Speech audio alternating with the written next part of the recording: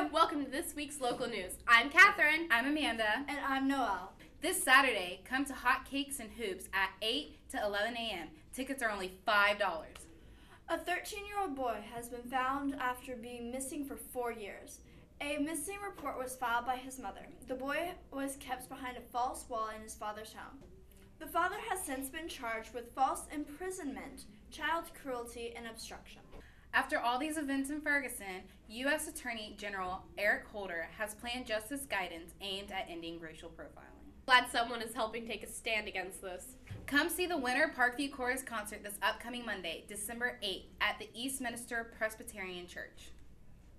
AP students, please remember to sign up to take your AP exam at mypaymentsplus.com.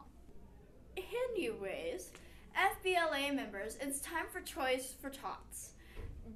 New unwrapped toys. A small toy is worth one point and a large toy is worth two points.